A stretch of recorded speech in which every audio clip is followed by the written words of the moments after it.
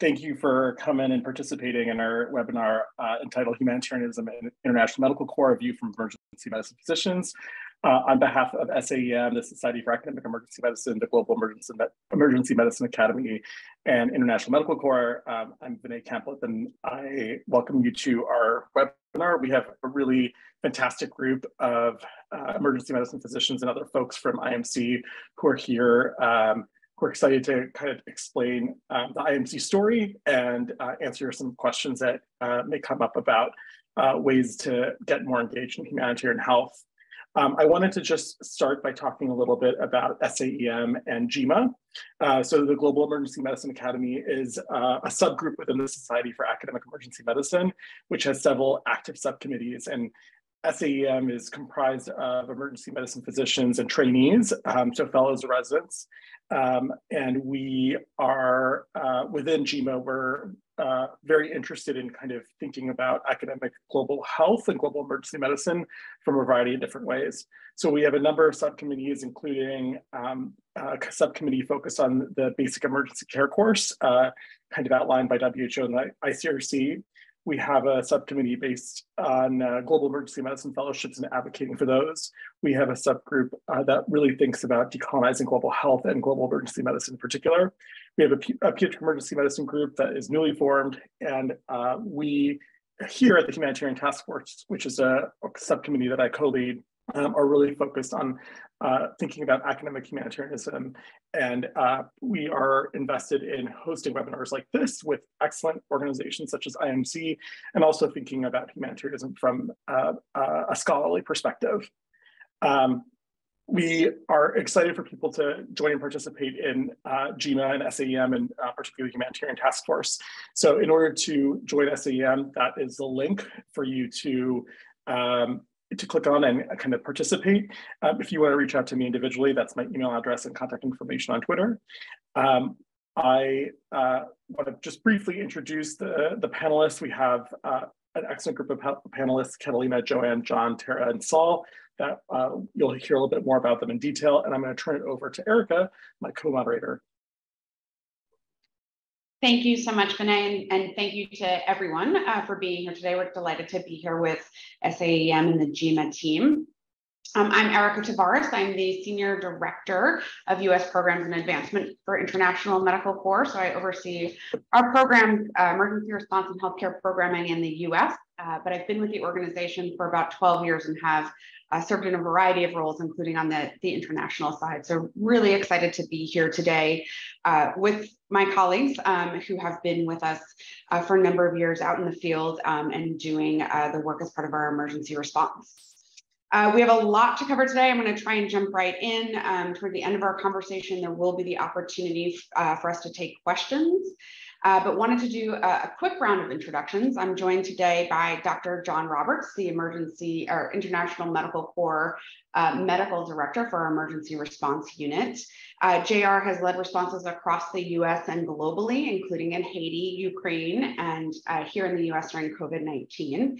Um, and he's also spearheaded International Medical Corps' efforts to develop our World Health Organization classified emergency medical team, which we will talk more about uh, throughout our presentation.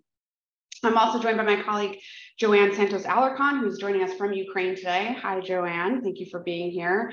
Uh, she helps to drive our partnership efforts globally, uh, and particularly as part of our emergency response efforts, and has been instrumental in helping us to build our roster. So thank you for being here. I know there'll be lots of questions for you about how people can volunteer. Um, and then uh, joined by Dr. Saul Kua, Catalina Gonzalez Marquez, and Tara Sood, all of whom have volunteered with us uh, during responses and in other capacities with International Medical Corps to help us drive forward our programming. So thank you so much for, for being here today.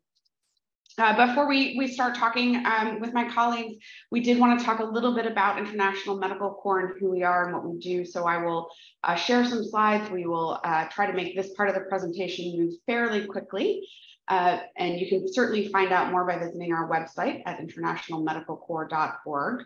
Uh, but International Medical Corps is a global disaster response and healthcare organization. Um, our mission is to improve the quality of life for vulnerable, pe vulnerable people through health interventions and work to increase self-reliance in the communities we serve. Uh, we are global. We have been around for nearly four decades. Uh, during that time, we've delivered about $3.94 billion in programs and services across 80 countries. Um, and we currently have uh, approximately 8,000 staff, um, many of whom, over 90% of whom, are, are hired from and local to the communities where we serve. Um, the countries in, in, dark blue here, you can see is our current footprint. Um, we do have programs, as you can see, uh, globally. Um, we are responding to some of the world's largest crises today, um, including the crisis in Ukraine. And we do have teams on the ground in both Turkey and Syria responding to the earthquakes that happened there earlier this week. And we'll talk a little bit about the work that we're doing there. Um, in addition to emergency response, um, International Medical Corps prioritizes uh, delivering healthcare and health-related services. Uh, you can see along the bottom there the types of, of healthcare programming that we offer, um, the services that, that we work in partnership uh, with local governments and communities to provide. Um, but probably most importantly, um, you know, training underpins all that we do. The, the organization was was founded uh, in Afghanistan um, during uh, the 1980s and in response to the, to the Soviet invasion there, when our founder uh, went in to provide medical care and really realized he could not ever bring in enough doctors uh, to provide that care that was needed. And so started training local medics on the border, um, some of whom went on to work for International Medical Corps and were parts of our program for a long time. Uh, we still do have a footprint in Afghanistan and, and in Pakistan. And so um, that sort of a foundation of training is, is continues to be important to the work that we do today. Uh, some of the things that, that distinguish International Medical Corps are, are, hallmarks of the way we work. We do get there first. Um, we are um, highly flexible and adaptable in our emergency response teams. We have a great logistics and security team that help us get uh, on the ground quickly if we're not already there when a disaster strikes. We're often there within 24 hours. Um, we do go to some of the toughest places. Um, you know, we don't um, station our programs in capital cities.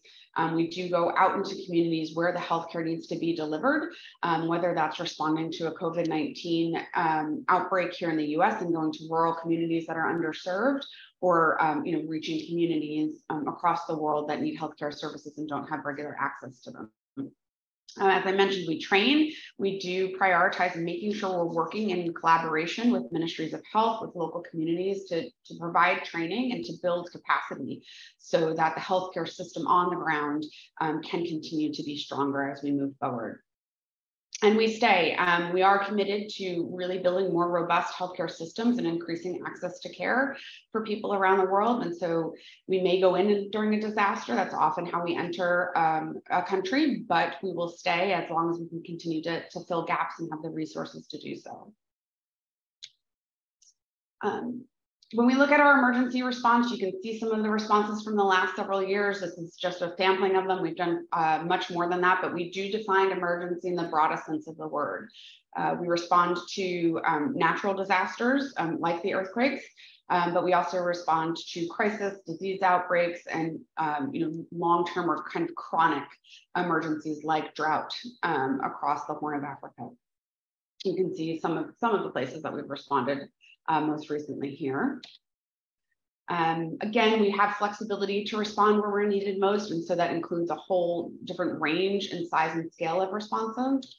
Um, and we're able to do that, um, again, because of our, our very significant logistics capacity. We have a, a, very strong logistics team that we're able to partner with to make sure that, that our doctors, our, our volunteers, our medical professionals can be on the ground quickly when needed um, but we also have the materials uh, to make sure that our, our teams um, have what they need to do their job. And so that includes, um, we have the capacity to, to deploy an emergency response health facility um, or multiple facilities. We maintain 10 shelters. Uh, we can treat 50 to 100 patients each day. Um, and so we pre-position uh, roughly 50 tons of medical equipment and supplies in addition to pharmaceuticals um, globally. Uh, because of that capacity, because of the long, uh, long-term nature of the work that we do, uh, we were, uh, we did apply for and were classified as a World Health Organization uh, Type 1 emergency response unit, uh, both mobile and fixed. Um, some of you may be familiar with that classification. It's an effort by the World Health Organization to verify the capacity of organizations who are responding to meet healthcare needs after a disaster. Um, we are the only nonprofit organization in the world with both fixed and mobile type 1 capabilities. Um, you may have also seen this uh, in recent days in, in, response to the Syria and, and uh, Turkey earthquakes, where the World Health Organization is actually calling for type 2 and type 3, which are uh, more robust facilities. And so this is um, you know, part of the process of how that's worked. You can get called up during an emergency. Um, and we are talking with them at this time about the potential uh, to deploy, although we have not been called yet. Um, but what this means is that we have the ability to deploy a health facility, supplies, and medical staff and systems needed to function uh, in the aftermath of a disaster and be fully uh, self-sustainable. Um, so to leave the smallest uh, possible footprint um, when we arrive um, and, and then when we, when we later leave. Um, we can provide care uh, through these facilities for up to 12 hours a day, seven days a week. Um, we can treat 50 to 100 patients a day, depending on the type. Um, this is um, the kind of deployment that we will often use volunteers in if and when this is called up. Um, and then we have also, over the uh, last several years, and really um, in the aftermath of COVID, have also increased our ability to respond within the United States. And we have, um, since Hurricane Katrina 2005, uh, responded to natural disasters primarily in the US, but um, with the outbreak of COVID 19, um, we really saw a need and, and the opportunity to support health systems here in the United States.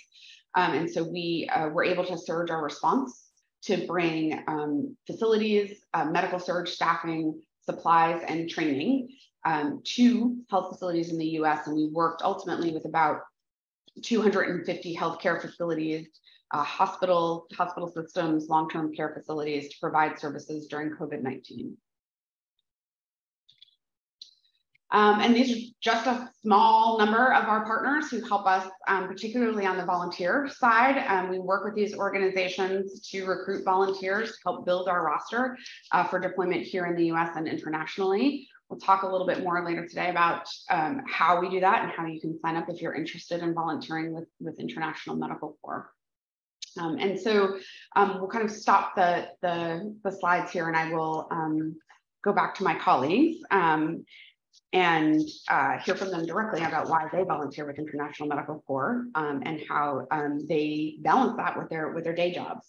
so I'll ask each of you to do a really quick introduction, um, you know, just one or two sentences about yourself, but then also, um, you know, would love for you to share sort of your why, why you do this work and why you've made humanitarian response um, part of your career. Um, and Catalina, if you don't mind, I would love to start with you. I was hoping I wouldn't go first. but hi, everyone. I'm Catalina Gonzalez Marquez. I'm an emergency medicine physician at Brigham and Women's Hospital in Boston. And um, I also do global health research in research denied settings, but started working with International Medical Corps um, as a fellow um, when I was doing a global health fellowship, just as a volunteer. Um, and then have grown in the organization and really happy to have had that journey with them. And I guess my why, um, I was always curious about humanitarian work.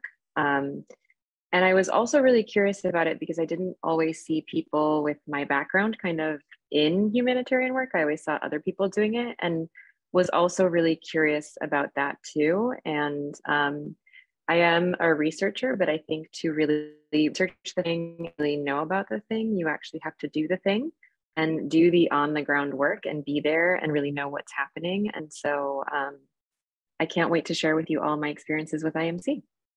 Uh, over to the next one. Thank you so much. Um, Saul, do you want to go next? Sure. Can everybody hear me okay? Can everybody hear me okay? Yes. Oh, thanks. Uh, good morning. Yes, uh, my name is Saul. Uh, I am also an emergency physician and also, I think, 2009 graduate of uh, Columbia's Global EM Fellowship. Um, I would say probably global health was always in my cards. Uh, I started off pretty young studying archaeology and medical anthropology. I would say probably I spent most of my doing work in the field in the Middle East and Africa. And so eventually, I guess I shifted over to medicine.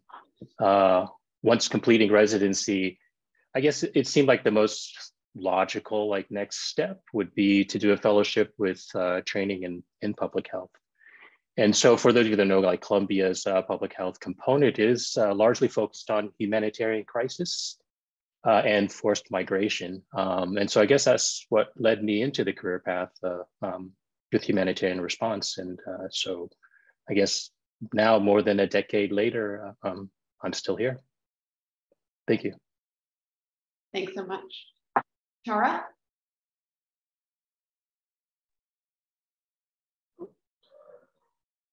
Hi guys, I'm Tara Sood. I apologize for the background noise. I am in an airport. Uh, I, I, um, I'm a graduate of NYU Bellevue residency program, and I started volunteering in humanitarian aid seven years ago, and I haven't gotten enough of it yet. Uh, my why is sometimes the large problems in the world, like refugee crisis or genocide or large scale natural disasters, they make you feel so powerless. And doing this work, uh, it allows me to be part of the solution, which keeps me from feeling hopeless. Thank you, Tara. Appreciate that. Um, JR, I, I, wanted to turn to you as well um, and hear your why. Um, JR uh, started with us as a, as a volunteer and then was hired by International Medical Corps. But um, JR, maybe after you talk a little bit about sort of how and why you get into this work, you can also um, talk a little bit about International Medical Corps' ongoing response right now in, in Syria and Turkey. I want to make sure we, given that um, it just happened earlier this week, at least talk a little bit about what we're what we're doing there and what we're seeing on the ground. Of course, absolutely. Can everybody hear me okay? Excellent. Hey everyone, my name is John Roberts. I'm an emergency physician uh, in Los Angeles. I trained at LA County and then did my disaster medicine fellowship over at Carolinas in Charlotte. And uh, I started with IMC back in 2020, right during the pandemic. Uh, I had been a volunteer before that, but they uh, but they brought me on to help design medical protocols for the EMT process, as well as to uh, to help with the COVID response. And then I've had a couple of uh, of uh, different jobs since then. Actually, was the previous uh, Erica, and Erica is much better at it than I am. And I moved over to more of a technical role in the emergency response unit, and I'm currently the emergency medical advisor or medical director of the ERU, and I also uh, uh, do technical advice for the the U.S. programs as well. And my why, I guess I, so I'm from Mississippi, and uh, I got started in Katrina. We uh, it, it, Hurricane Katrina came straight through our coastline and destroyed the entire coastline, and we were down doing cleanup, and it was about a million degrees outside, and it was mucky, and we were sleeping in tents, and I just remember this lady coming up to us and just telling us that she said we we would be nowhere without y'all and I was hooked from there. I was like this is where I want to be. I want to be in places that that need this amount of help. And then quickly uh, so that I went to medical school because of that, went to emergency medicine residency because of that, and then realized throughout several different uh, responses that the need seemed to be global significantly more than anything local, but that we couldn't forget local responses. And so that led me to IMC and um, and sitting in front of you. So I um, a little bit about uh, kind of where we're at. Uh, again, I like I said, I'm the emergency medical advisor for our emergency response unit, and uh, several days ago we had a very large crisis happen on the border of uh, of Turkey and Syria. And so a little bit about kind of what's going on there right now. Uh, I'm sure all of you have uh, seen the news reports, but currently uh, there was a 7.8 magnitude earthquake that happened in southern Turkey around Gaziantep. Currently, there are about there are about seven, a little over seven thousand people reported dead between the two countries. It's affected about 23 million people, including about one and a half million children. And uh, unfortunately, it's in an area that's also experiencing some, pretty significant weather. So the rain and snow have been predicted and have been seen over the last week or so and are predicted to continue, which is going to uh, really complicate things. IMC, however, has been in Syria since 2008 and was in and had country programs in Turkey from 2012 to 2018. So this is an area that we have a lot of experience in. We, before the crisis, we were working in uh, Syria in about 12 different of the governorates as and supporting about 30, between 30 and 40 health facilities that uh, were providing both physical and mental health services uh, to around half a million people uh, a year. Um, and so we have also been active in the area of Gaziantep, but also Hatay and uh, Sanliurfa and Kilis and Mersin, providing health and MHPSS, which is mental health and psychosocial support, uh, gender-based violence and child protection programs uh, prior to the response. Since the response started, we have delivered about 15 tons of medications and medical supplies and cholera kits and uh, and medical commodities and those have mostly gone to facilities in Syria because that's where our programs are currently uh, in Aleppo and Hama and, uh, and Latakia. We also run three mobile medical units in the northwest part of Syria that provide primary health care and trauma and sexual and reproductive health services to about a thousand patients a week. And in Turkey, we are currently actually working through local partners to procure and distribute uh, food and non-food items to some of the affected communities. And this is something that we actually do a lot of, which is we try not to come into an area that we don't understand or that we don't have a presence in previously and just start working. Our modus operandi, our way of doing things is that we, to the greatest extent possible, utilize local local organizations, local people, and the host community to provide care through those mechanisms rather than trying to bring in our way of doing things. And so that's currently what we're doing in Turkey. And in Syria, we have uh, our entire team, almost our entire team is local as well. So did that answer your question? It does. Thank you, JR. I appreciate appreciate that response. Mm -hmm. Um, for JR and, and, and for Tara, um, you know, in our, our conversations leading up to today's call, we talked a lot about um, how you integrate humanitarian work, um, how you've done that um, into your career and how you made the decision for you, JR, to kind of come on full time. But Tara, I know it's, it's also something that you're, you're looking at as well, how you integrate um, volunteering into your career. And I guess starting with you, Tara, can you talk a little bit about how you how you integrate this work into your your day jobs and and a little bit about what's worked and what hasn't worked for you? Sure. Um, I actually started off with an organization that requires a year commitment minimum. And I took a sabbatical from work. I was supposed to deploy to a refugee camp uh, on the border of Tanzania and Burundi. I got all my vaccines, uh, ended up getting autoimmune thyroiditis, went into thyroid storm, got so sick that I had to be taken off of my assignment.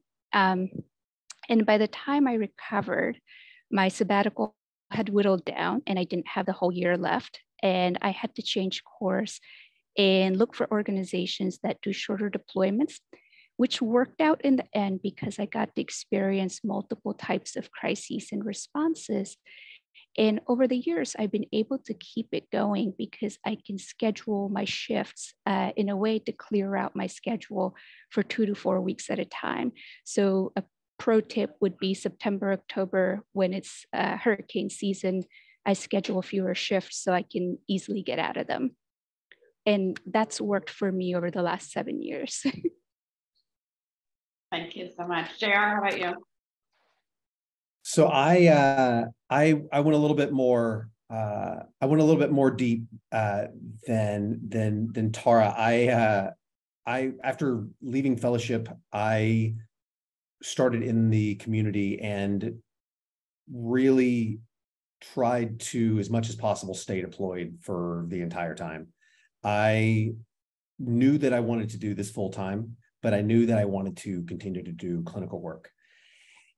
And if you want to do those two things, it's really difficult to find a an organization to to do that with. I wanted to be in the nonprofit space because I had worked with governments before, and I had worked with for-profit uh, companies before, and that I found that unfortunately other priorities got in the way of the work. And whenever it came down to doing the thing that needed to be done, it was only the nonprofits that were able to do that because they weren't they weren't their their reason for existing was not to make profit and their reason for existing was not larger political issues. So that when the when the decision came to be made the hard decision we have the mandate to make the right one. And have the fewest other i guess uh, complicating decision uh, complicating factors to consider in the decision making. That's why i decided to go with the nonprofit sector as opposed to government or for for profit. But the i uh like i mentioned it was a little bit harder to be able to balance those two things with the clinical work and for and the public health work. And international medical corps was was um, has been was and has been amazing in allowing me to continue my clinical practice so i work monday through thursdays uh, with IMC doing all of the stuff that we've already talked about. And then every Friday afternoon, I work at an uh, at a hospital in downtown Los Angeles uh, doing emergency medicine. So I get both my gunshot wounds and my public health uh, at the same time, and I could not have done that without without the support of Erica and uh, and our leadership team to allow me to do those things. And I've been uh, incredibly grateful for that. Thanks, JR. I, I would just add, I think International Medical Corps also understands and, and prioritizes that our our doctors also want to maintain their their clinical shifts and that experience. Um, it only helps us do our work better in the field. So it's been a real um, benefit for us to be able to have doctors on staff that also continue continue their their clinical practice. Um, I know when all of you have been thinking about this, sort of your your situations have evolved over time, and and Catalina, I'm wondering if you can um, kind of start and talk just a little bit about how your kind of journey with with humanitarian work has evolved um, and the different types of, of things that you've done. Yeah, so I really have to thank the start of my journey in International Medical Corps to my uh, former fellowship director at Brown, um, Adam, who really connected me with International Medical Corps and gave me the support when I wanted to go on my first few responses. Um, and I think that was important. But my initial journey with International Medical Corps was I was on their volunteer roster, like I think many many of us started and a couple of things happened in the world and i was able to go. You know i was the doctor in in a tent in the bahamas. Um, i went to the philippines for some covid preparations and did all that with international medical corps. And um, that was great but i have to say my impact was really small right? It was my impact was the patients that i met in the tent or the you know the five doctors i met you know at their hospitals and then um, IMC actually kept calling me, which was great. I guess I did a good job. I was nice enough to work with. And actually, during COVID, reached out to me to help them create like infectious disease protocols for hospitals or trainings for hospitals in both English and Spanish. And so I was able to that to do that and realized, oh wow, I was actually impacting much more people, like you know, 20, 30, maybe hundreds of people and then um, again, IMC came back this year, um, and this was a much bigger um, journey for me, and I have to say, a really rewarding one. They asked me to be the course director and lead a basic hemorrhage control course in Ukraine, and that was an, a great experience into creating a course with, you know, my expertise in acute trauma care. Um, then designing what it would look like, adapting it to a conflict setting, um, an active conflict setting, and then going there, setting it up, and delivering it multiple times um, and being in the field and also being able to share this technical expertise with the Ukrainian national staff. And, you know, again, just hope, hope to keep working with IMC because um, it's not, I'm not always the most helpful person when I'm in the field, right? You think you need a doctor all the time. The truth is that's not true. you probably need someone who has other skills than a doctor. Um, but there are so many other ways and again because training is such a core piece of what imc does um, being able to have that um, different impact has been really rewarding Thanks. And I think, JR, if I'm not mistaken, we're now taking that training to other countries as well. Is that correct? Actually, yes. We, uh, thanks to Catalina and uh, all of our technical experts uh, on in Ukraine, we were able to put together a program that has broad applicability outside of Ukraine. And so we have had uh, we've had requests from several countries in East Africa, including Ethiopia and Somalia, as well as we are also in discussions with uh, both officials in Syria and Turkey to deliver trauma and mass casualty training to doctors and nurses and pre-hospital care workers, as well as the uh, the wider public. So uh, thanks to Catalina and, and her team and uh, the team that she worked with at IMC, we were able to to turn that into something that is going to be scalable and really, a really exciting project. Um, Saul, for you, I know you've also um, you've been with International Medical Corps, I think, on and off for, for a number of years. So um, we'd love to also hear from you sort of how your experience with humanitarian work has evolved and, and how it's changed, you know, and how you look at it. Yeah, very good. Yeah, um, as kind of alluded to, I guess I've been in the humanitarian industry for you know quite a long time, and so um, I'll actually be looking at some notes because I just do want to be mindful of time and just try to cover uh, a brief kind of description of guys my course as um, per the question. Um, and so I, I probably spent most of my time being a bit field focused and in particularly on the acute phase, acute phase of response, kind of the rescue phase of response. Um, and so this would like primarily include assignments of, that were more kind of exploration or setup, uh, some startup programming, um, project startups uh, to the same time. And so uh, to do this, uh, I had to kind of work out a bit of a flexible domestic schedule, um, primarily to achieve two things. Uh, to have a, a, short lead time uh, for deployment, to be able to get out there uh, very fast, and also to try to offer as much time uh, as possible. Um, and so I think, you know, over the years, this has worked out pretty well. Um, so as a result, I've uh, worked in many of the highest level emergencies uh, of the past decade, uh, anywhere from like the Haiti earthquake uh, to Ebola um, to to the Gaza war, just you know, just to name a few. Um, with the field assignments, I have uh, picked and choosed a bit, um, particularly to try to keep my skills broad and to include all categories, or classes of emergencies. Um, and so uh, I've done responses to conflict uh, or high insecurity contexts, what we call HICs, um, outbreaks, natural disasters, uh, famine.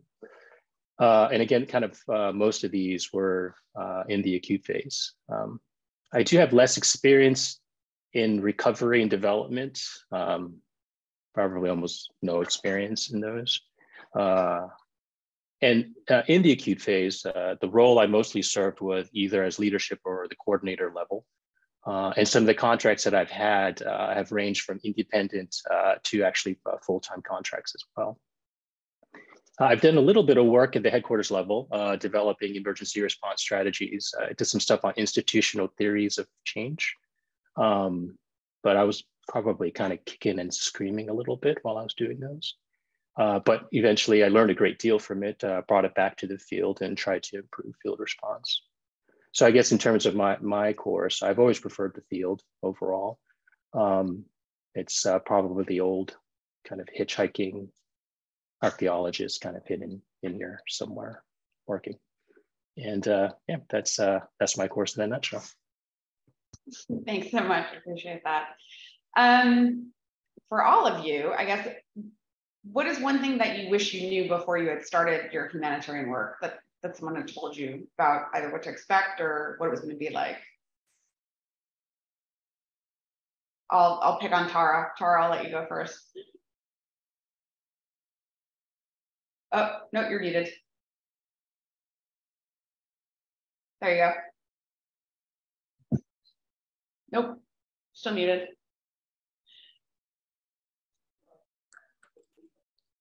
Can you hear me now? Yeah. Okay. I'm saying I'd be happy to go first so it's not Catalina again, but my technical difficulties are getting in the way. so I I would say that uh, the thing that I, I wish somebody had told me, or what I would tell someone else is don't wait for the perfect time to volunteer on a project because these things always, these opportunities always pop up when your life kind of gets in the way. Try to make time for it. Like uh, my first assignment with IMC, I got the email asking if I can deploy within 48 hours. I was again in an airport coming back from uh, Puerto Rico after Hurricane Maria deployment. We didn't have water, running water, or electricity the whole time we had been there, and my whole team had picked up bed bugs. So we were very itchy and dirty. Uh, and we're sitting in the airport, and I got the email from IMC, and I am so glad that I said yes because if I hadn't said yes, it was very tempting to say I can't because I would like to go home. Uh, but I did get to go to Dominica uh, with IMC as my first deployment.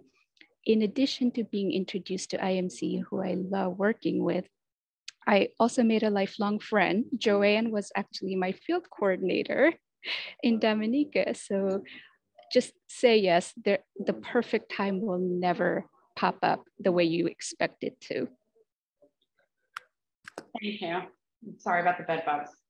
We've had those too. um, Saul, I'll ask you to go next. We'll mix it up a little.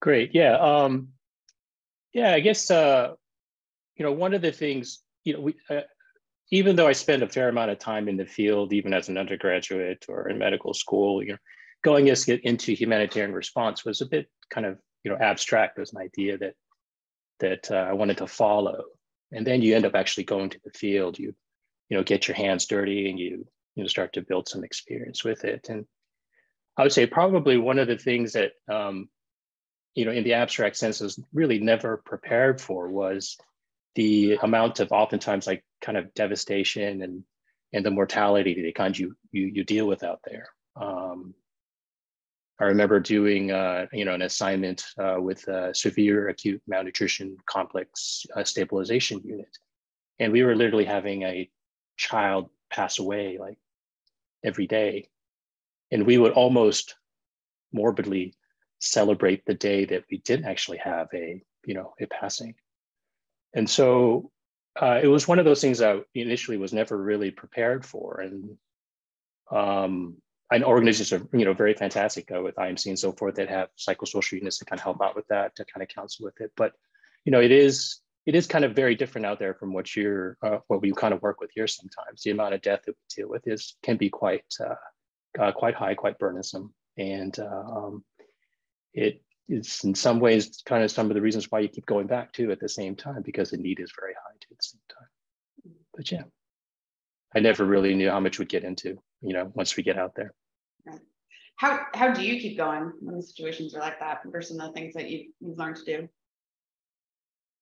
Oh, it, it, depends. Like I guess how you know when you keep going in the field, um, I always say like the acute phase response is a bit of kind of managing your BTUs and your British thermal units, your amount of energy. So you're really just kind of constantly working and trying to like you know keep up. Um, one of the things I find that's most useful is the people that you work with, your team out there, are are champions in their own world, and we kind of work together to try to keep each other in, in check. Uh, you know, could be anywhere from you know my water engineer saying, um, you know, Saul, just stop that fight and let's just work on this. You know, you know, in, instead and uh, you keep in touch with these people. Um, you still chat about uh, um, things outside of those events because you do try to you know forget it as much as possible. But uh, um, you know the people you work with, the team that you work with, keeping them moving, keeping them motivated. Uh, I think that's one of the best feels that we have out there. Thanks. Catalina? Yeah, I think I, I echo a little bit of what Saul was saying. You know, there's going to be a lot that you see that's really frustrating, and that's um, you know, you can get really mad about it, or you can do something about it, which is kind of the thought that I do to keep me going. Right, like if I have a skill that I can employ right now, I can be really frustrated about power structures, about things that like have made this this way. Because, you know, I think unfortunately we live in a world where geography can unfortunately be destiny for a lot of people. Um, or you can use your skill and do something about it. And I think part of that's the emergency medicine doctor in me that is triage and do what you can and move on.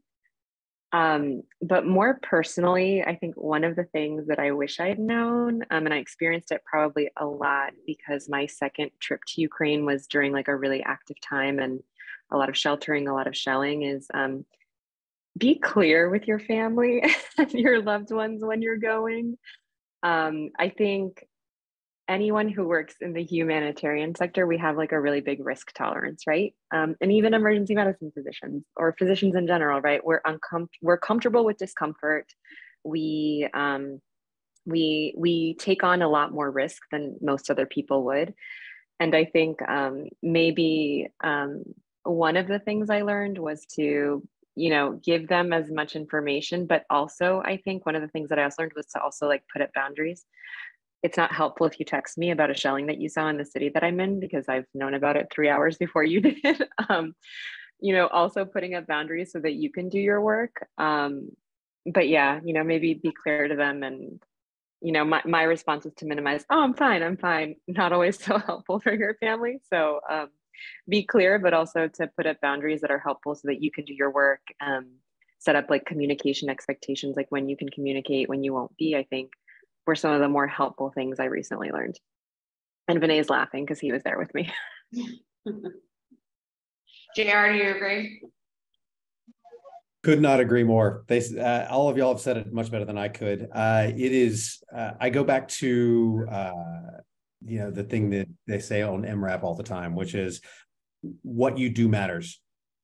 And the reason why I say that is because it's really, really easy to get despondent and frustrated that you're not doing more. But doing this work is a lot like working in the ER. You are bailing water out of a ship with a hole in it. And the it is really, really easy to get burned out and frustrated and despondent when you are working so hard and it doesn't seem to be changing anything because you can't change the reason why 4 million people fled across a border. You can't change the reason why, you know, uh, people are, you know, dying by gunfire. But you can change the things that you can change, and what you're doing is incredibly important. And remembering that, and remembering that it is a marathon, not a sprint. You have a life to lead, not you're, you're going. You have a life to lead, and if you can't do this work anymore, then you're not, then that's one less person doing the work. So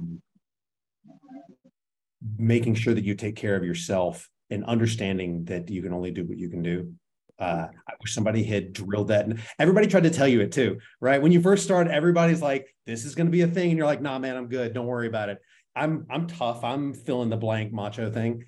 And you're not, and you're, and listen to the folks that have been doing this a while because it re- they've learned a lot of really important things. So that was what I, that was the most important thing I learned.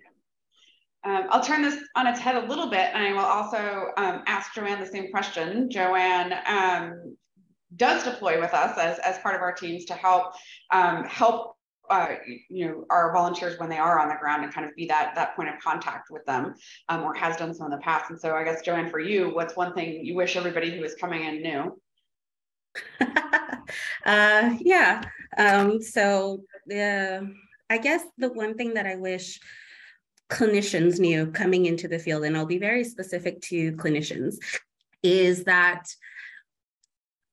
you are going to be doing things that have absolutely nothing to do with your medical degree. Um, and I think that is the thing that people don't really realize. Like, yes, obviously, we need your expertise. We couldn't do what we do without you. Like, there's no way we could come and help as many people as we can without an MD, an RN, you know, uh, an NP, like everything but sometimes you will be asked to do things where you're going to be looking at us with like you have a second head growing out of you and uh, you want me to do what? Why? I'm sorry we need hands. Can you please just you know help put this tent up? And you're going to be like uh, uh, okay.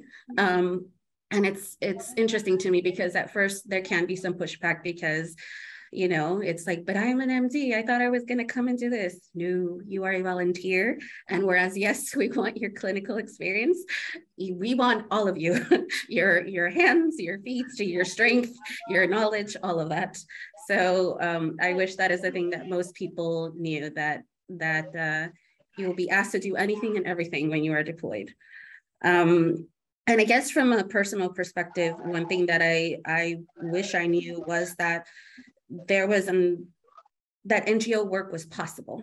Um, so being a Latina and being, you know, first generation, second generation, whatever the terminology is, um, you're told very young that there are very much big careers that you aspire to and that are there to help you. Um, and a lot of the times, especially with uh, our generations, what you want to do is give back, and you don't really necessarily know how. And the fact that NGO work exists and that this is something that you can do um, with your amazing skills is is something that is great and it's a different way for somebody to give back other than you know just money or you know revealing something or whatever it may be that this is actually a possibility and that it's something that is needed. I wish i had known that earlier. Thank you.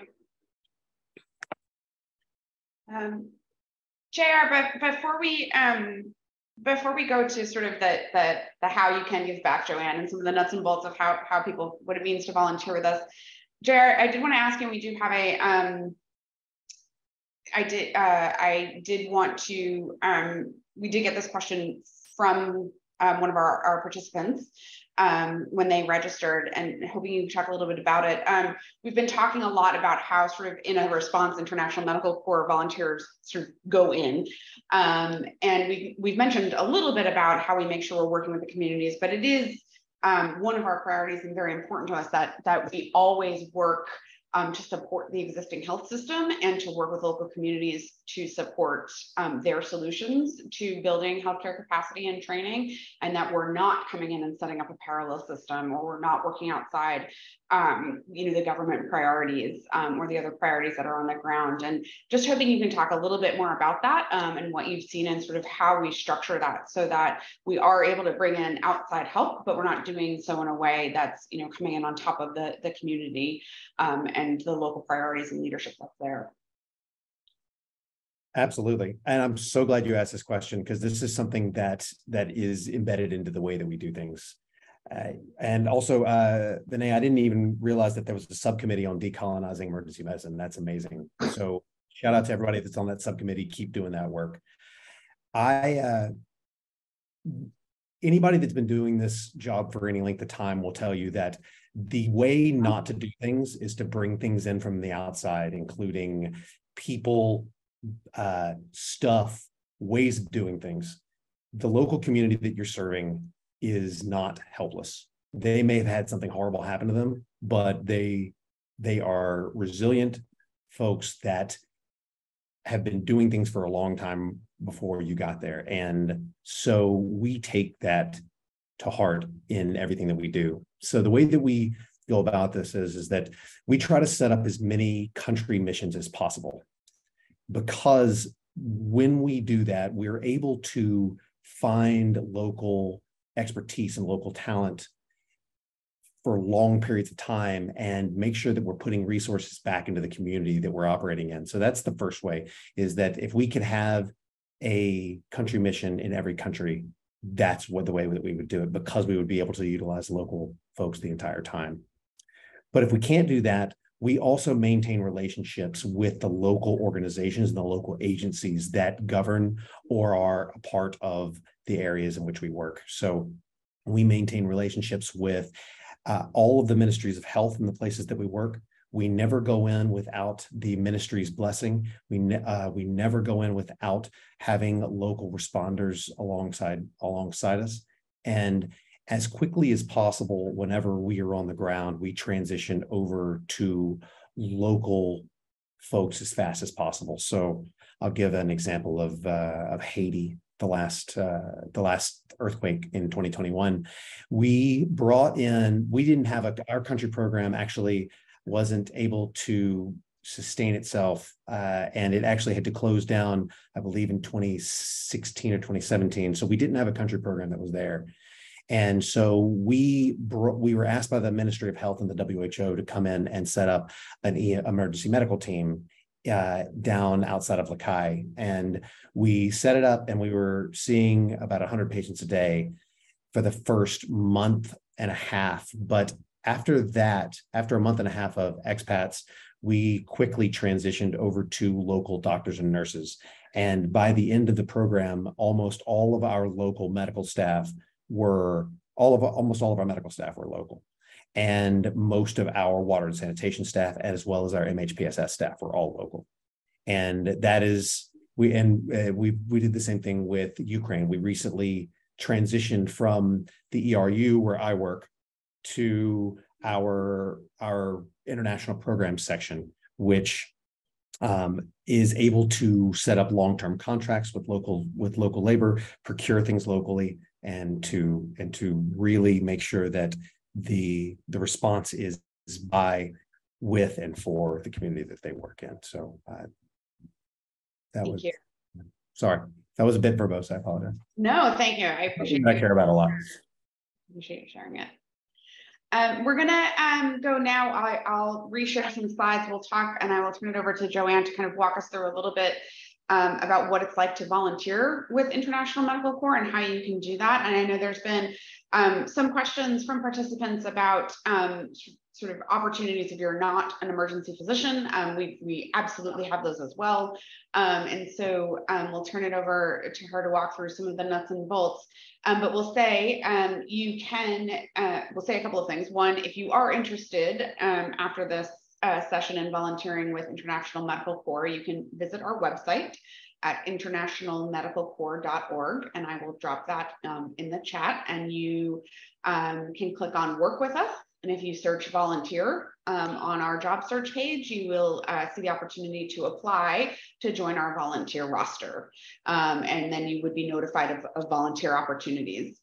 I will also take this time to say we are not currently sending volunteers to Turkey or Syria um, at this point. You know, to, to JR's point, um, we actually have um, a number of local partners we're working with on the ground in, in Turkey. We are also, um, our team is working um, in Syria to provide care. And so we're not accepting volunteers for that at this time, but certainly um, are accepting uh, volunteers to join our roster for, for future opportunities or if the situation on the ground uh, should change. So I'll just say both of those things now. Um, and then me share my screen again. I can do this. Okay. Um, so, oh, the first? Joanne, over to you. Yeah. All right. So after all these wonderful people have talked to you guys and uh, thoroughly convinced you that volunteering is the way to go, I come in to take it over. But essentially on the screen right now, what you will see is um, some of the most recent responses that we've been a part of, obviously Ukraine, COVID, Haiti. Um, and just so that you can get an idea of the number of volunteers that were deployed, the types of licenses that were deployed, and also the um, uh, activities, I want to say that the volunteers actually did for us. Um, we can keep this on the screen or we can move on, Erica, but I can talk to any of them. Um, but essentially, how we do this is International Medical Corps maintains an emergency response roster. And so what this is, is basically a group of people who like Tara are on it um, who have skills and that they can deploy with us. We get volunteer doctors, nurses, um, medical professionals. And what we do is we pre-interview them and complete pre-deployment paperwork, orientations, trainings, um, and anything of the like that we might need to have before a disaster strikes. Because as you've heard them say time and time again, we like to respond or we try to respond within the first 24 to 72 hours of a response. And as we all know, paperwork can take forever to complete. Training can take forever to complete. And when you're trying to leave and get your flight and get your stuff together, this is the last thing you want to do. So what we try to do is get all of that annoying stuff out of the way so that when somebody reaches out to you and say, can you deploy like tomorrow? You're like, yeah, I'm good to go. So what this means is that um, when a disaster happens, one, somebody from our HR will contact you saying that you need to deploy. Um, and then what uh, they will do is they will tell you for how long. If it is locally, and I mean locally like within the US or close to home, it is a two week deployment. If it is internationally, we ask for a minimum of three week deployments just because it takes time to get to the place where you are. And then, of course, it, you'd be, have less time on the ground. Once you're on the ground, uh, we never let you deploy without an International Medical Corps staff or an International Medical Corps team on the ground. They will always be there with you. Um, we always have a medical coordinator. Most of the times at the moment, it will be JR that will be deploying with you, um, who will be there there to sort of guide you and tell you along the way what you need to do um, and how things will be stationed. Um, one of the things that we get asked a lot is who pays for my deployment? We do.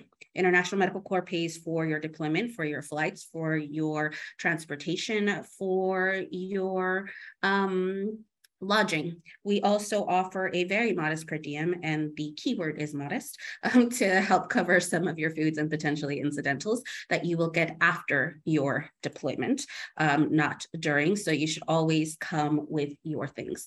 The other thing that we get often is, well, what about um, if something happens to me or like I need to go home? Your safety is our number one priority. So if you do need to leave for whatever reason, whether something happens to you or there's an emergency emergency at home, we will get you home as quickly as possible. Please do not worry about that. Um, the other question we get asked often is, well, what if you, you know, tell me that I can, if I can deploy and I say no because of something, like, is that going to hurt my chances to deploy with International Medical Corps again? No. Once you are on our roster, you are on our roster for a minimum of one year um, so that we, you know, at the one year mark, will update all of your paperwork and I will get to that in a little bit um, and just to check if it is still something that you want to do. But you can say no as many times as you need to, as many times as you like. And we're not going to be like, she says no, we're never calling on them again. You know, we will not do that. Um, the other question we get asked is like, what do I pack? I've never done this before. Oh my God, do I need to take a sleeping bag? Do I need to take a, a mosquito net? We will tell you what you need to pack. We will give you a list of all the things that you need to pack. We will tell you what to expect on the ground. We will give you our security information. You will be well taken care of because we want you to come and deploy with us. Again, I am sounding like a commercial. Please don't take it that way. Um, and so after all of this, then the question is, well, how do I apply? This sounds amazing. Okay, so online, you go to internationalmedicalcorps.org and core is c-o-r-p-s for anybody that's wondering. Um, and yes you can go look at our volunteer section. There are specific uh, like uh, applications that you fill out if you are an md if you are an rn if you are an uh, uh, RPH, um, you know, various different clinical licenses. We have those. However, if you cannot find it, you can just apply to the general volunteer online. Um, once you do that, essentially your application will go through our system. And there's a plethora of paperwork that you will need to complete. Um, everything from a conflict of interest form to consent waivers, you know, emergency locator, medical clearances, your W-8, because we're going to give you a per diem. Um, and then you know, volunteer conduct statements. So just, you know, the basic annoying paperwork that you have to fill. You will also have to provide copies of certain things so that, you know, we know that you're fully vaccinated, like your hepatitis and your MMR, et cetera, um, your passport, because we need to get you from point A to point B, uh, your licenses, all of your licenses, because we need to know who you are and what you can actually do. Um, if you have a dispensing license, like a DEA license, we'll ask for that, your diplomas, your resumes, you know, and any other board certifications that you want us to know about so that they can help place you better um, once we have you on our roster. And after all of that is completed, and by the way, this is all online. You don't have to submit anything via email. You don't have to, you know, send in any official paperwork. We try to make it as easy as possible. So once all of that is completed, um, we may need some reference checks done, just so you know we know who you are, you say you are. Um, and then in addition to that, we do require some training. Um, you're like, why, why do I have to do some training? Well, some of it is for you and it's about 12 to 15 hours of training. It depends how fast you want to do it. Um, I've seen some people where they do it super, super quickly because they're insane in like three to four days. I've seen others that take, you know, a couple of weeks and take their time. We ask you to complete it within a month just because, you know, it gets annoying just to be sitting there. But some of the trainings that you will have to do are, you know, your code of conduct. So you know what we're all about um, sexual exploitation and abuse, just because some of the places where we go to are different than where we're used to practicing and we just have to make sure that everybody is safe. Um, something for you as well our security training so that you know what to do in case something happens to you. Um, whether it's you know like here in ukraine where there might be an air raid and you have to go into a bunker or wherever else we might be we just want you guys to be safe. And then the one that i particularly like which is kind of long it's the longest one that we have it's our building uh, building a better response bbr training that international medical corps actually helped to build. Um, and basically this training covers the foundations of humanitarian response, um, you know, the basics like how humanitarian is structured, like our UN clusters, which are clusters that we work with whenever we're deployed to make sure everybody is coordinating the resources appropriately um, what international humanitarian law is, humanitarian standards, and things like that. So that for somebody who's never worked or volunteered or deployed with an NGO before, you sort of get an idea of what it's like. And so that you are not, you know, just out there doing something that you have no idea what to do. Um, but yeah, I mean, I think that's the basics of how you can join and sort of what it is. Um, I have been a coordinator for volunteers before. Um, and like I said, just expect the unexpected, even if it's not with us. So we would love you to volunteer for us, please come join. Um, you might see me, you might meet me, um, but if not, um, just expect the unexpected. Um, be prepared to be self-sufficient wherever it is that you go. If you need coffee in the morning, like make sure you have those instant coffee packets with you because we all know that we all need some sort of caffeine to subsist whatever we do. So just make sure that you're self-sufficient, be prepared for anything. And honestly, sometimes you might not be doing what you think you were going to doing, but you being there in whatever capacity is going to help whoever it is that you're there to help. Thanks, Joanne. Can you um, talk a, a, little bit to us about some of the, the volunteer opportunities and, and uh, JR, you may have some input here as well, or Catalina, but um, some of the, the opportunities that we've done that uh, with volunteers that are not um, about deploying in the field. Yeah, so quite a bit of uh, some of the volunteer stuff that we started to do actually came about through COVID and through necessity, just because we couldn't, you know, go very far and a lot of clinicians were very much had to be in their you know zone or their hospital area and they couldn't you know leave. Um, but we had to get certain messaging out to a lot of people. So what we started doing um, was quite a bit of training and capacity building to help get the word out through webinars for uh, persons that just needed to know the basics needed to be kept up to date about you know what was going on um, uh, to to be able to help others. I think even though that is volunteering from afar and the one that we've mostly talked about quite a bit, and I don't think it's Erica, so I'm just going to steal it for a little bit, is that in addition to being able to deploy for emergency responses, um, there are sometimes opportunities where you can deploy for specific programs. Because I know some people can't do like the emergencies, but uh, for example, during um, COVID in Juba, South Sudan, International Medical Corps established the only ICU that was available in all of Juba. And the way we were able to do that was because the government had very specific um, people that they needed. They needed bio uh, bioengineers. They needed a certain amount of clinicians of MDs, and they asked us if we could provide them. And so we went to our roster, and because it was a project and it was going to take time to set up and all of that, we were able to get people from our roster to go and support and actually help set up this um, ICU because there was time and lead time. So in addition to emergency, there are potentials for that um, to do. But I think JR, you might have a little bit more information about the training content because that is something that you mostly did for the Ukraine training. Absolutely. Um, so in terms of volunteering, uh, we had so the one of the biggest uses of our volunteer roster that we've had recently has been the Ukraine trauma training project that Catalina helped us work on. Basically, what we did was is that we knew that we needed we knew that we needed to, uh, to train a lot of people in a very short amount of time, and we knew that we had a lot of talent on our roster in terms of trauma management. And so what we did was we reached out to our our, our roster that normally deploys for emergencies and says, "Hey, uh, you know, a lot of you are really experienced in trauma. A lot of you have taken ATLS or trauma nursing fundamentals or PHTLS. And we know a lot of you are actually teachers of this. And so we reached out to our existing roster, but also reached out to all of our networks to sign new people up for this specific project. And we were able to bring in, oh, wow, close to 40, maybe almost 50 people from either the roster or the uh, or specifically signed up for this project. They were all volunteers that helped train several thousand Ukrainian uh, doctors, nurses, and uh, lay people in uh, ATLS, PHTLS, trauma nursing fundamentals, CBRN, and uh, and mass casualty management.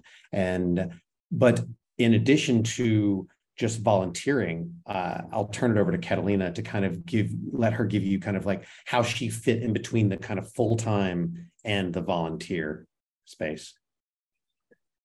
Yeah, so you know, I think all of us will agree that your heart is always in the field, but sometimes, you know, either because of COVID or your clinical commitments, it's hard to travel. So um, IMC approached me about helping them build out some training content in things that I was an expert in. You know, um, in emergency medicine protocols in how to deal with potential airborne diseases because everyone was you know worried about covid or delivering online webinars for them in english or in spanish because spanish is my first language so that's an easy one for me.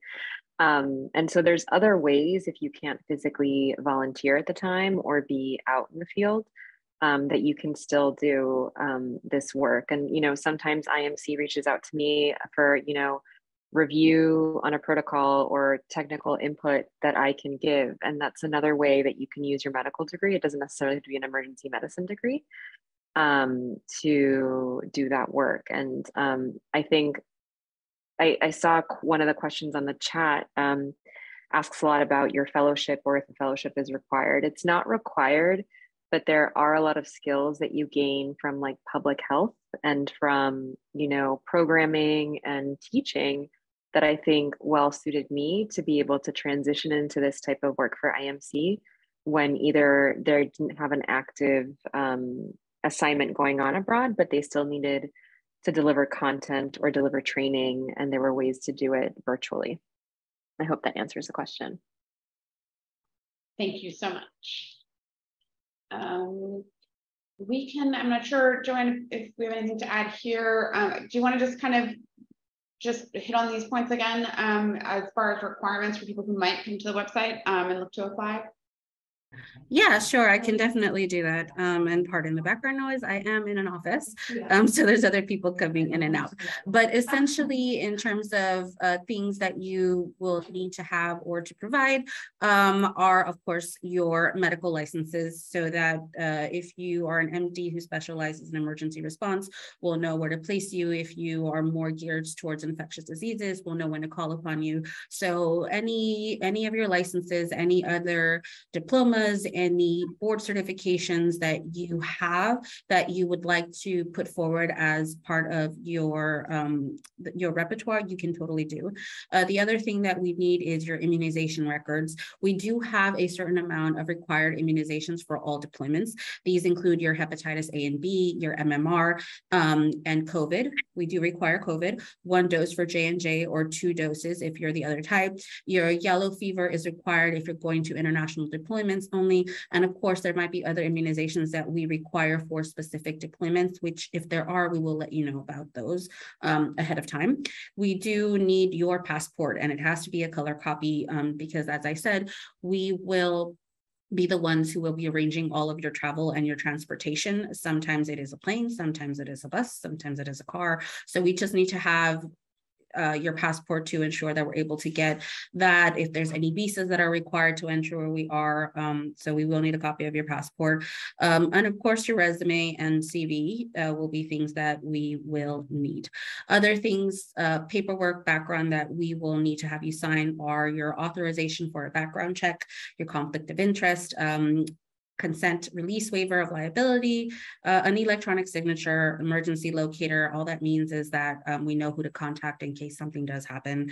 Um, your medical clearance, this will require signature by a medical health provider, and we can provide you additional details of what exactly that means. Um, we'll need a W-8 for uh, non-US citizens, uh, but a tax form, essentially, we'll need your tax form because of the per diem that we provide, and we'll need a volunteer conduct of statement statement from your employer or a reference just to ensure that everything is done. Uh, and then the other thing would be the training that I mentioned, um, about 12 to 15 hours worth of training, online modules that you will get access to once you've gone through up to a certain point of the um, onboarding process. We will be the ones who will give you access to this training. And it, like I said, it includes things from code of conduct uh, to security to just letting you know how the humanitarian sector works. Thank you. Um, I see we're getting a number of, of, of questions about some of the um, nuts and bolts, I would say, of, of the process. And so I guess um, for any of our panelists, there's been a few questions about sort of how to negotiate the ability to deploy with your employer and whether that's something you should do up front, how to have that conversation, um, how to ensure that um, you know, you're being upfront and transparent, but also have the opportunity to deploy as part of your um, should be part of your interview process? I guess any, um, I'll, I'll just kind of open it up and see, does anybody have any sort of thoughts or, or tips on that? So I can actually talk about that. I'm newer at my job now. So I, I was looking for work two years ago. And I was very honest with everyone that I interviewed that this is something that I do, that I do work that's abroad, that I sometimes don't always know, and did actively try to negotiate that into my contracts. You get mixed responses with that.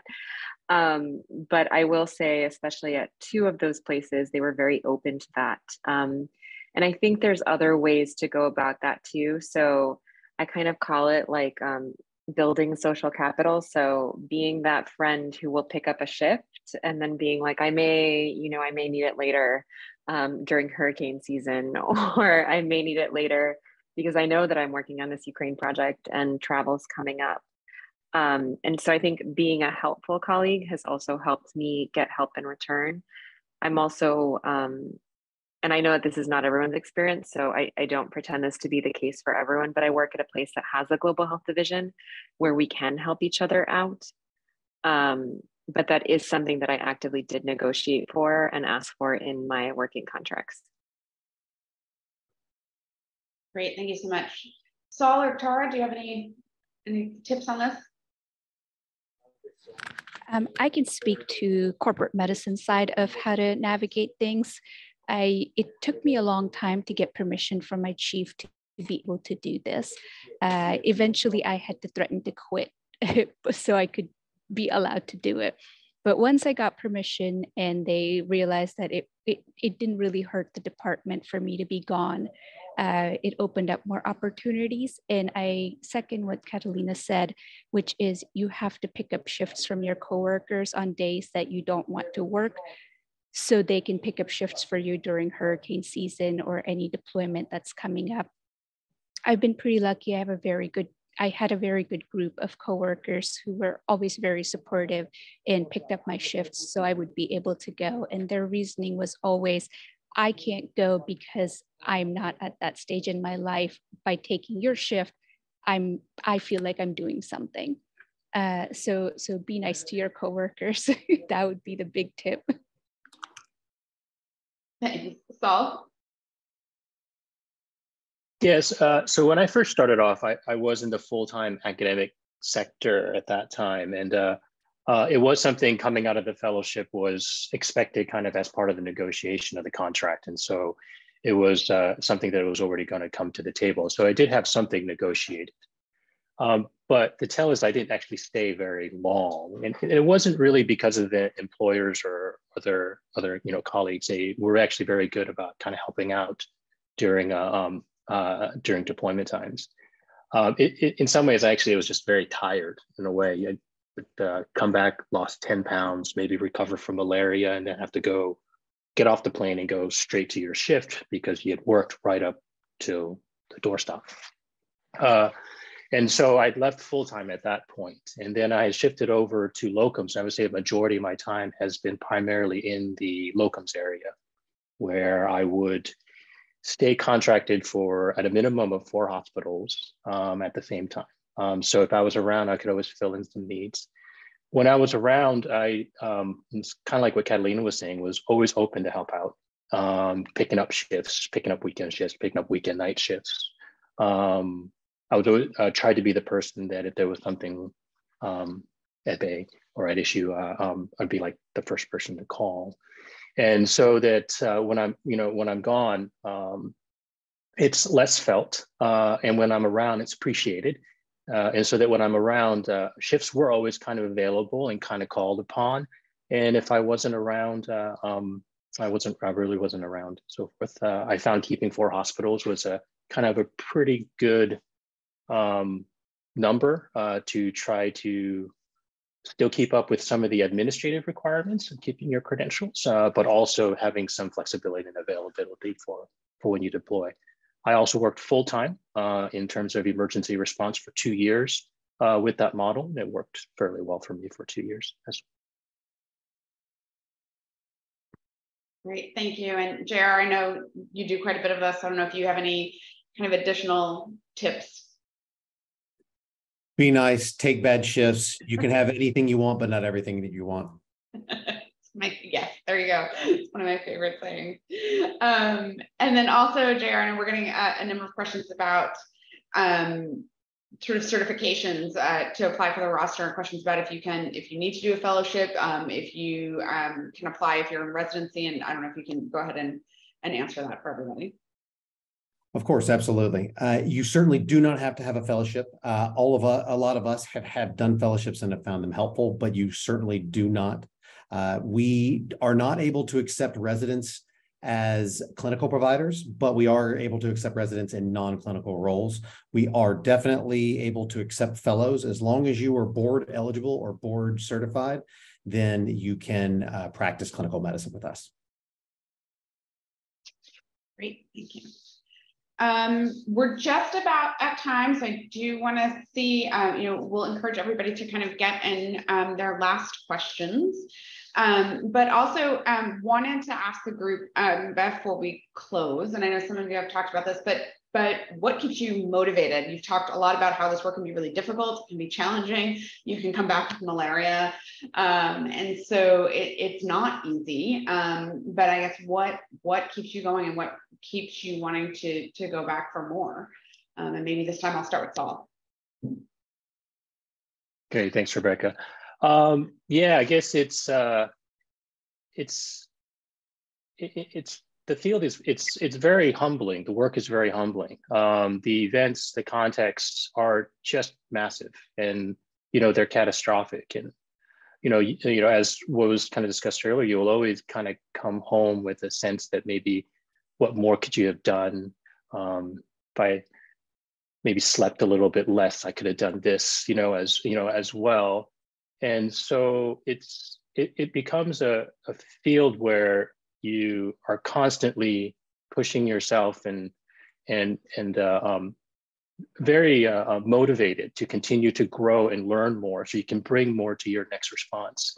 Um, i would say probably you would never get a sense that you got everything that you wanted done out there but uh, you can continue to strive and continue to you know work uh, work forward to at the same time um, and ideally, hopefully, the next response, you, know, you feel a little bit better about it, you know, like towards the end. And uh, um, and uh, that little bit, um, um, it's, it's, it's a little bit exciting. It's kind of exciting.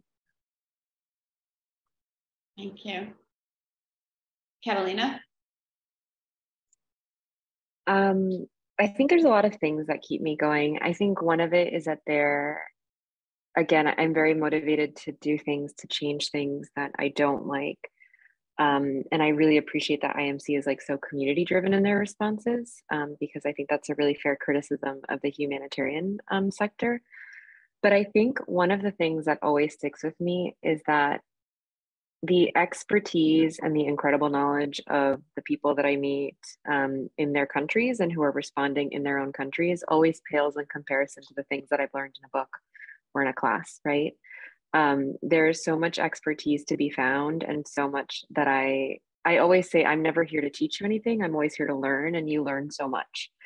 Um, and you know, your experience can sometimes just be another day in their lives, but if you're really open to it, they you will learn and you will grow from it and then be a better physician when you go back home or a better friend or a better you know family member and i think that's like kind of one of the things that keeps me going and i think it's really important to experience how other people live and then actively work to do something about it um and yeah um whenever imc wants to call me i'm there thank you Joanne, how about you? You're in Ukraine right now. Uh, because I'm a little insane. No. um, no, honestly, it's um when people when people say you work for a humanitarian or you deployed to a humanitarian situation um, you get a lot of people who say oh my god thank you so much for your work thank you for all that you do um, and it feels like you you haven't really done anything um, but when you go out and you go to the field and you're able to help these people, sometimes all they want to do is have somebody who will listen to them and listen to their stories. Sometimes it does require a lot more like surgery. Um, but just the fact that you are able to go and be there for somebody and help in any way, shape, or form, as little or as much as you can, when they are probably going through some of the toughest times of their life that they may ever experience. Um, it's not because you want to go there and be like, you know, feel good about yourself. It's really you just you just want to help. And when you're able to help in any way, it just the sleepless nights, the slight insanity, the the sickness that you could potentially get from doing all of that, it really does make it worth it because it's just humanity, one person helping another. Thank you. JR? I echo every single thing that everybody has said. Uh, you know, people are sometimes the problem, but always the solution. And I, uh, it's it's it's a it's a pleasure to be in a situation where you are not bound by like algorithms and protocols and the situation the problems that you that arise are cannot be possibly put into simple solutions. And so it's a different way of thinking and you need a team to do it and the the the people that you help and the people that you work with are the reason. Thank you. And tara um, everything everybody's already said the only thing i'll add is it's a great feeling to be out there after an acute disaster because the whole community comes together and you're basically seeing the best of humanity in action where everybody's supporting each other, taking care of each other, looking out for each other. I love being a part of it, although a very small part of it. I love being a part of it. Thank you. Um, Vinay, I'll turn it back over to you, but I know you volunteered with us and with others as well, so I'll let you answer the question too if you'd like. Uh, yeah, I just got uh, my first appointment with IMC a couple months ago, and it was awesome. I was able to finally meet Catalina, which was great. Um, but I, this has definitely been uh, an important part of my life work, and um, I cannot imagine it another way. Uh, and I, you know, I there's a quote that I think of. Uh, it's uh, by Lilla Watson, um, and the quote is that if you've come here to help me, you're wasting your time. But if you've come because your liberation's bound up with mine, then let us work together. And I think that that really embodies the work that IMC does. That's the spirit of IMC. That's the spirit of why we do the work that we do.